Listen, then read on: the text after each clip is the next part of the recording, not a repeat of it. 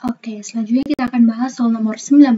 Jadi kalau kita lihat di soalnya, nilai X yang memenuhi pertidaksamaan, harga mutlak X kurang 2 kurang dari 5, dan harga mutlak 2X kurang 3 lebih dari 7 adalah Oke, berarti uh, di sini kita disuruh untuk mencari batas X lagi gitu ya. Nah, di mana ada uh, pertidaksamaan ini dan pertidaksamaan ini. Nah, kalau ada kata dan, berarti nanti kita akan iris kedua himpunan penyelesaian. Oke, di sini aku pakai konsep uh, yang udah aku pelajari. Kalian bisa gunakan konsep kalian juga, yaitu mengkuadratkan kedua ruas. Terus nanti kalian iris. Nah, nanti kalian bisa bandingkan hasil yang kalian dapatkan dengan yang udah aku kerjakan gitu ya. Nah, apakah sama atau tidak? Gitu. Jadi kalian bisa coba dulu ya. Oke, di sini aku uh, gunakan cara aku. Nah, di sini aku udah tulis yang diketahui dan ditanyakan adalah batas X.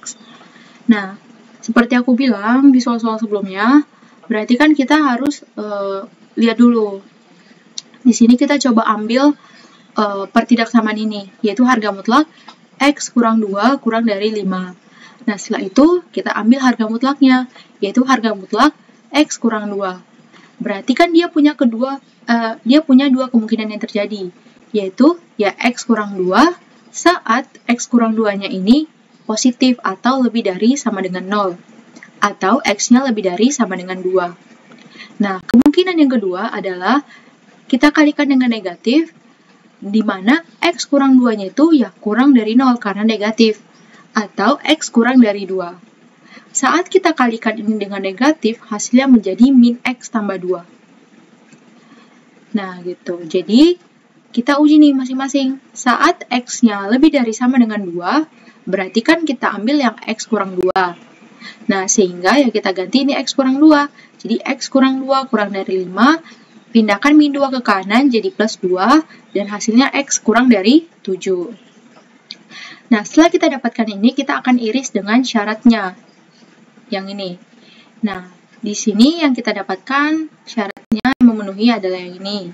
Berarti kita dapatkan X-nya itu di antara 2 sampai 7. Nah, itu yang pertama. Nah, selanjutnya kita ambil yang ini, saat X kurang dari 2. Berarti yang kita butuhkan adalah yang ini, yaitu min X tambah 2.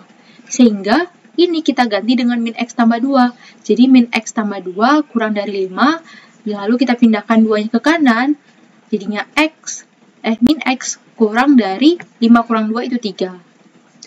Lalu kita kalikan kedua ruas dengan min 1 supaya ini jadi koefisiennya 1. Jadi X yang ini kita kalikan min 1 jadinya lebih dari, terus yang ini jadinya min 3. Setelah kita dapatkan ini, kita akan iris ke sini. Nah, setelah kita iris, ternyata yang adalah yang ini. Berarti kita dapatkan hasilnya adalah X yaitu di antara min 3 sampai 2. Lalu setelah kita masing-masing dari